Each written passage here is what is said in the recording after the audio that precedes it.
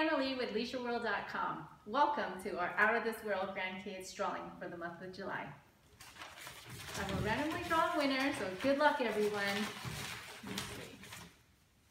And the winner is, hey, Jeanette Silvas and her grandson Connor. Congratulations, you'll be receiving your $25 Toys R Us gift card. Remember, you don't have to be a resident to enter, and please encourage your friends and neighbors to participate. Thank you for visiting LeisureWorld.com.